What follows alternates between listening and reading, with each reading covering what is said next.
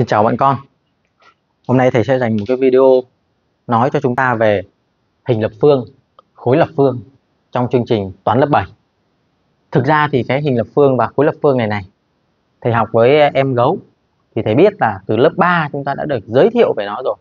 Tức là chúng ta có cái hình ảnh này, có những cái tên gọi quen thuộc này. Ví dụ thế nào là mặt bên, thế nào là mặt đáy. Rồi chúng ta sẽ được đếm số cạnh, số đỉnh, số mặt của hình lập phương. Và trong sách giáo khoa thì người ta sẽ vẽ sẵn cho cái hình đó. Và với lớp 3 thì chưa yêu cầu các bạn đấy vẽ hình lập phương, mà các bạn chỉ nhìn nhận cái hình ảnh thôi và nhớ một vài cái tên gọi, tính chất cơ bản. Còn đối với lớp 7 thì chúng ta sẽ phải nắm kỹ các cái yếu tố cũ của lớp 3 mà các em ấy đã học, rồi chúng ta phải tự tay vẽ được một cái hình lập phương sao cho mà người khác nhìn vào nó có cái hình ảnh sâu, ba chiều, hay còn gọi là 3D đấy để chúng ta thấy rằng cái vật thể thì nó có có chiều dài chiều rộng chiều cao. Tức là nó có yếu tố không gian.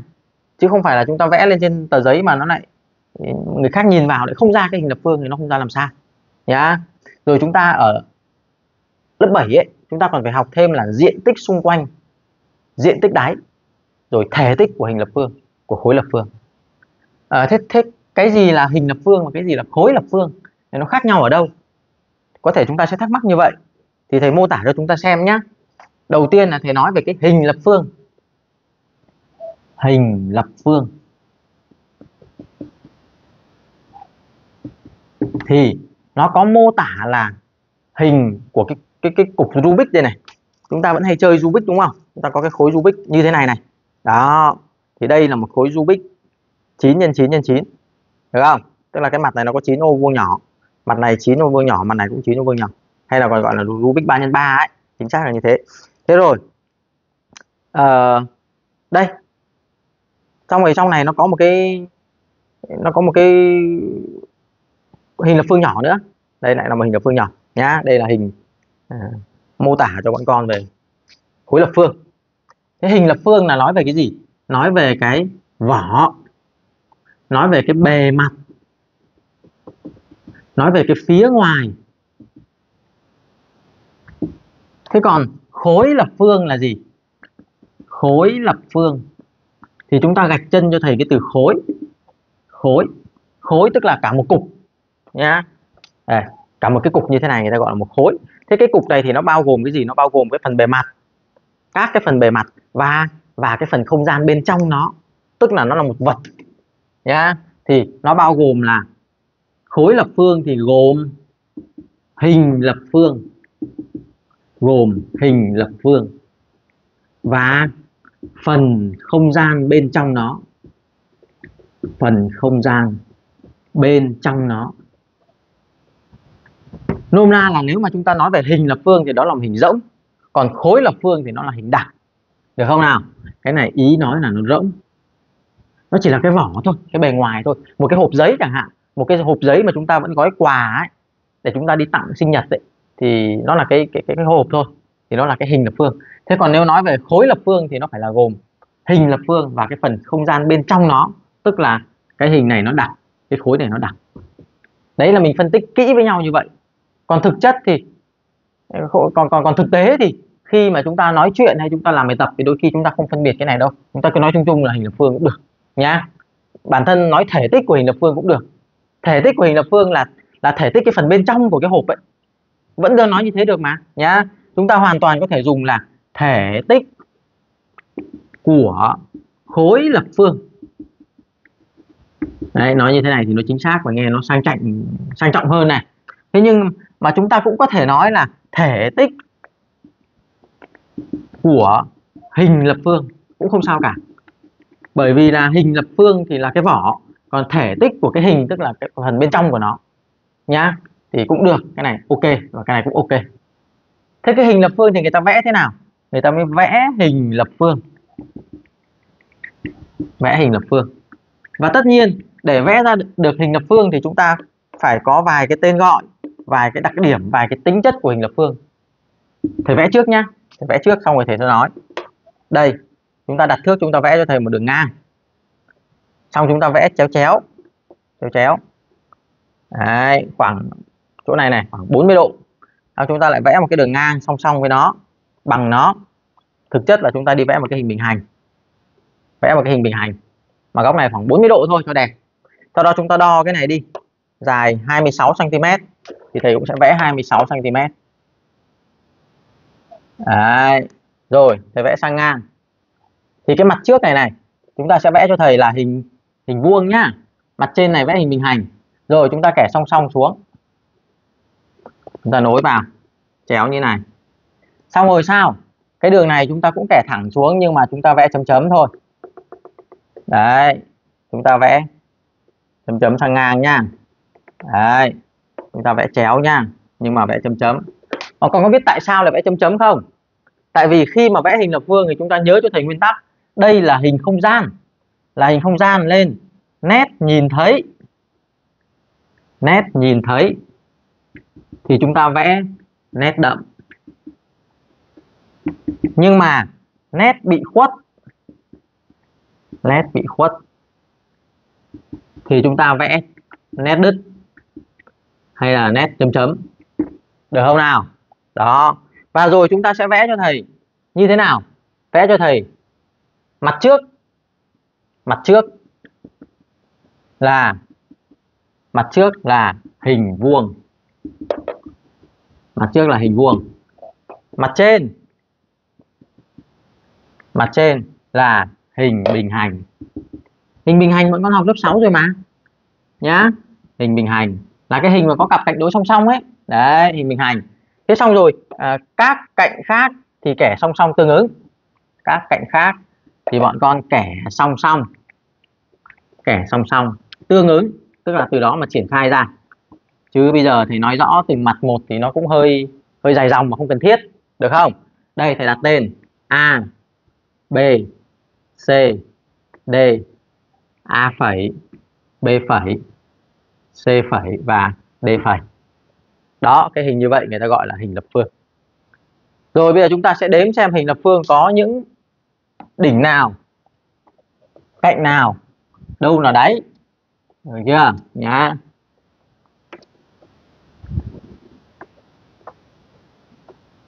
Sau khi viết xong là thầy có thể xóa được rồi. Bởi vì à, học qua video thì chúng ta có thể tua lại và tạm dừng video để chúng ta ghi chép mà.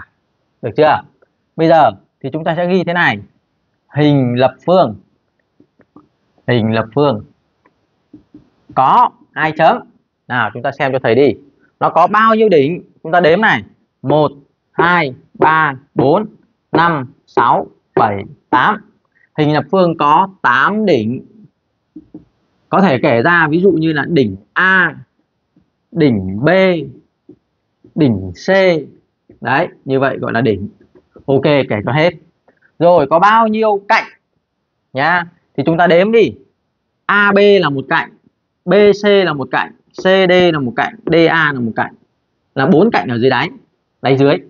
Xong rồi lại, một, hai, ba, bốn nữa. Bốn cạnh ở trên nữa 8 rồi còn cạnh cạnh ở sườn là gì? 1 2 3 4 tức là BB phẩy CC phẩy AA phẩy và DD phẩy. Chúng ta có bốn cạnh dưới, bốn cạnh trên và bốn cạnh ở giữa. Vậy thì có 12 cạnh.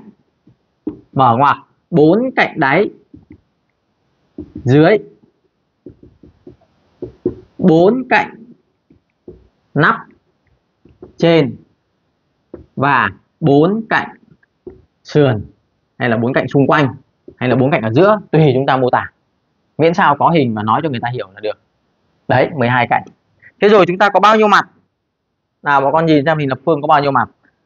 Một cái mặt đằng trước là hình vuông, một cái mặt sườn cũng là hình vuông. Nhưng mà ta vẽ nó là hình bình hành bởi vì đây là vẽ hình không gian. Nhá, mặt trước này, mặt sườn phải này, mặt sườn trái, mặt đằng sau. Như vậy chúng ta đã có bốn mặt rồi, xung quanh. Mặt trước, mặt sau mặt sườn phải, mặt sườn trái. Như vậy là bốn mặt, cộng với mặt ở dưới đáy và mặt nắp nữa là chúng ta có 6 mặt. Hình lập phương có 6 mặt. Hình lập phương có 6 mặt, hình lập phương có 6 mặt. Ghi thêm ở đây, mỗi mặt mỗi mặt là một hình vuông. Nhá. Và chúng ta ghi rõ ra đây, gồm gồm một mặt đáy một mặt đáy, đọc tên. A, B, C, D. Một mặt nắp. Hay là mặt có lúc thì còn gọi là đáy trên cũng được. Mặc dù trong sách thì người ta không dùng cái từ đáy trên. Nhưng mà thôi, ta cũng có thể hiểu với nhau là ABCD là đáy dưới, còn cái kia là đáy trên được không? Cái này là đáy dưới. Thực ra đáy thì nó phải ở dưới rồi đấy. Đúng nghĩa tiếng Việt phải như thế đấy. Đáy là phải ở dưới. Chứ đáy làm sao ở trên? Đúng không nào? Nhưng mà thôi, mình nói với nhau nôm na cho nó dễ hiểu đã, để mình học, mình hiểu với nhau đã. Còn cái chuyện câu chữ thì mình sẽ lại chỉnh chu nó sau được một tí được không? Mặt đáy này, đáy dưới đấy, mặt nắp này, đáy trên. Rồi, tên của nó là gì? Nó là a phẩy b phẩy c phẩy d phẩy. A phẩy b phẩy c phẩy d phẩy. Cái nắp phía trên này này, cái nắp hộp ấy, nhá. Rồi, gồm gì? Bốn mặt xung quanh. Bốn mặt xung quanh thế nào là xung quanh? Xung quanh tức là xung quanh như này chứ còn gì nữa. Bốn phía bốn phía đông tây nam bắc. Trái phải trước sau. À, để thầy ghi tên này. Bốn mặt xung quanh đó là d phẩy c phẩy cd đây là mặt trước. Mà con nhìn thấy không? Nó nó nó ngay trước mặt mình mà. Rồi c phẩy b phẩy b c. Mặt sườn phải à, a phẩy d phẩy da mặt sườn trái. A phẩy b phẩy ba mặt sau. Ok chưa? Đấy nhá. 8 đỉnh 12 cạnh 6 mặt.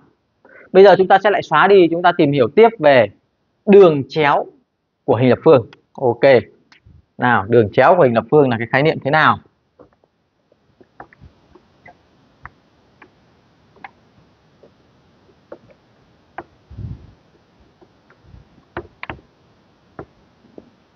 Đây, nào.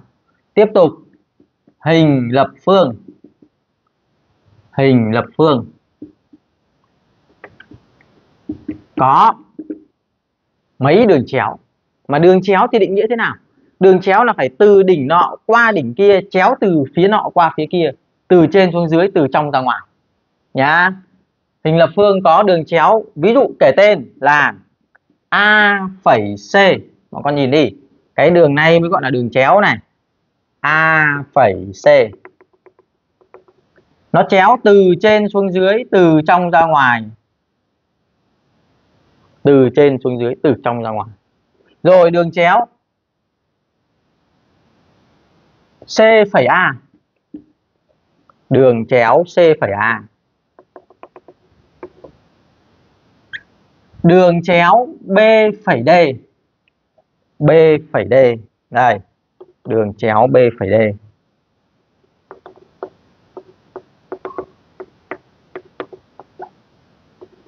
Đó.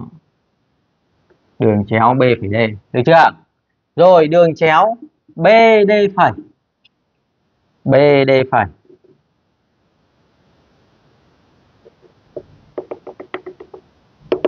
Mà con nhìn thấy vẽ nhá. Đó thấy chưa?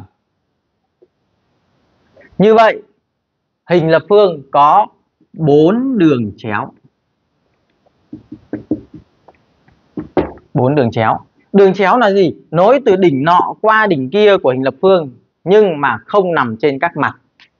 Nối đỉnh nọ với đỉnh kia. Với đỉnh kia của hình lập phương. Để viết tắt mà không nằm trên, không nằm trên các mặt.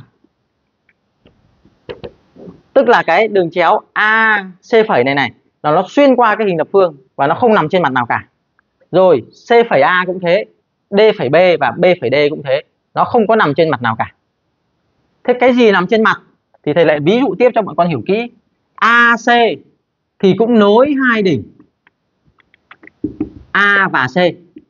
Nhưng mà AC thì lại nằm trên mặt đáy ABCD nên suy ra AC không phải là đường chéo của hình lập phương nhá.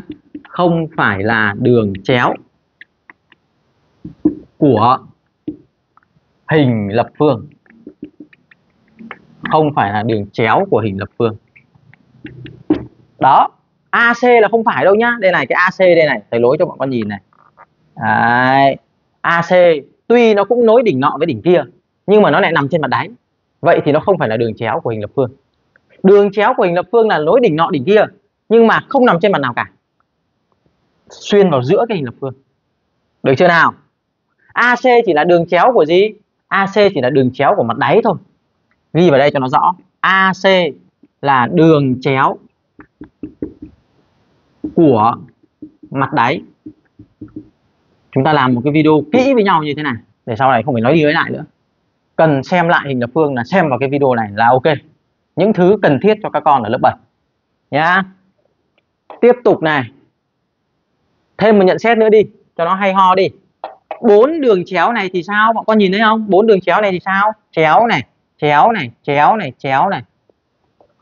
Bốn đường chéo thầy viết tắt từ đường nhá bốn đường chéo của hình lập phương. Bốn đường chéo của hình lập phương. Thì thì đồng quy tại một điểm. Hay là cùng cắt nhau tại một điểm đấy. Đồng quy tại một điểm. Điểm đó gọi là tâm của hình lập phương.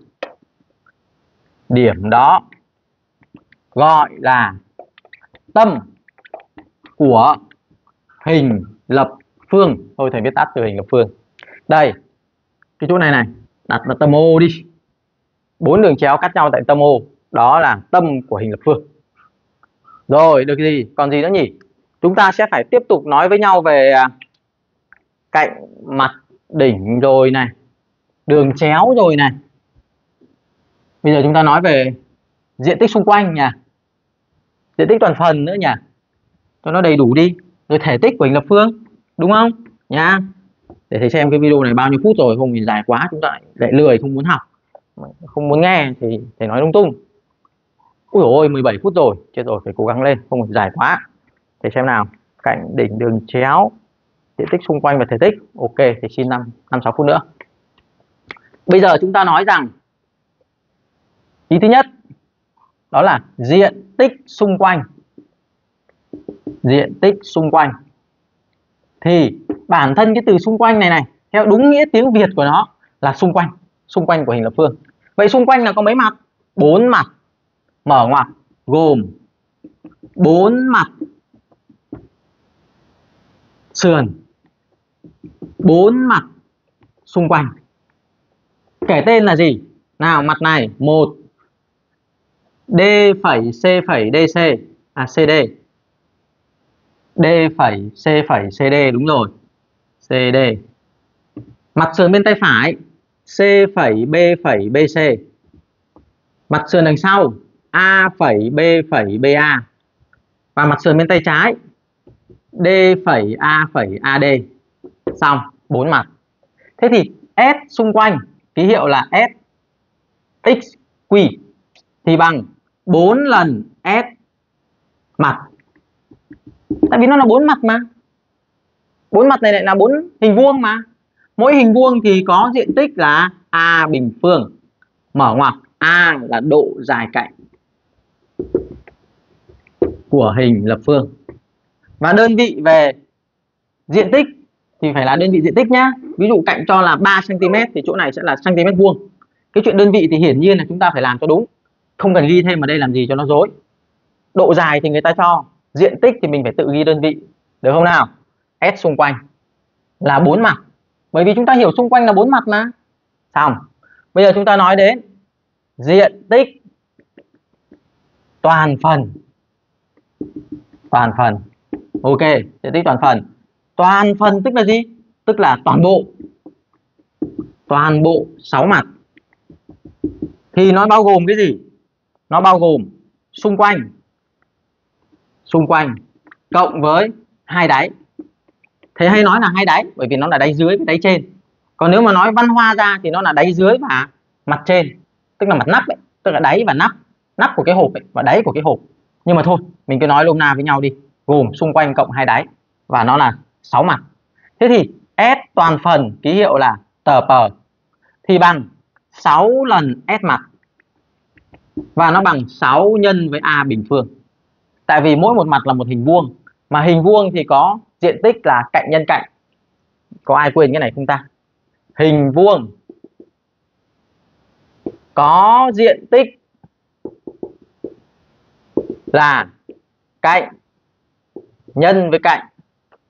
Và bài này nó chính là a nhân với a và người ta viết đó là a bình phương. Được chưa? Rồi xong. Thế còn thể tích của khối lập phương, người ta hay dùng từ khối cũng được nhá. Thể tích của khối lập phương. Khối lập phương. Hay thể tích của hình lập phương cũng được. Thì nói từ đầu video rồi đấy. Thể tích thì chúng ta nhớ từ hồi hồi xưa chưa? Là v bằng v của lập phương đi. Thì bằng dài. À chúng người nói dài nó không đúng đâu. Mà thôi, cứ nói theo ngôn ngữ hình hộp chữ nhật cũng được nhá. Dài nhân rộng nhân cao thì ở đây nó chính là bằng a nhân a nhân a và bằng a mũ 3 đơn vị thể tích. Ví dụ nó cho là cm là độ dài, thì ở đây là cm khối. Được không nào? Ghi thêm một câu ở đây là đơn vị thể tích tương ứng với đề bài cho. Đề bài cho là cm thì ở đây sẽ là cm khối. Còn nếu đề bài cho đây là một mét chẳng hạn, thì đây sẽ là mét khối. Được không? Nha thầy nói dài rộng cao là nói theo ngôn ngữ chúng ta hiểu cho nó dễ và nhớ công thức cho nó nhanh. Còn thực chất trong hình lập phương này người ta không gọi là dài rộng cao, được không? Người ta sẽ nói là cạnh nhân cạnh nhân cạnh. Là a nhân a nhân a bằng a mũ ba. Được chưa? Rồi. Thêm một số bài tập ấy, thì chúng ta phải để ý cho thầy là có thể người ta lại hỏi là diện tích của xung quanh và đáy thôi. Bởi vì đó là một cái bể cá chẳng hạn. Thì ghi vào đây nhá. Có lúc mà người ta lại hỏi thế thì sao? Ghi thêm một xíu xíu xíu vào đây. Trước khi kết thúc cái video này đó là, chú ý. Thay đổi cái bút. Đó là chú ý. Có bài tập. Có bài tập thì lại hỏi S xung quanh cộng một lần S đáy. Ví dụ, làm bể cá. Làm bể cá thì người ta làm xung quanh và làm đáy thôi. Còn cái nắp phía trên này người ta không làm bằng kính. Người ta để trống mà, thả cá vào đổ nước vào múc nước ra cho thức ăn đúng không? Thế thì lúc ấy chỉ có S xung quanh thôi và một đáy. Còn không phải là S toàn phần đâu nhá. Rồi thế cũng có bài tập. Thì người ta lại chỉ hỏi à, người ta lại hỏi S toàn phần. Đó là khi ví dụ như người ta làm hộp quà. Làm hộp quà thì người ta lại làm kín tất cả sáu mặt. Là cái hộp biệt các tông ấy. Xong người ta bọc bằng giấy hoa vào gắn nơ vào đem đi tặng quà đó thì sáu mặt. Được chưa? Rồi. Hy vọng là qua cái video này bọn con sẽ hiểu được về hình lập phương rồi.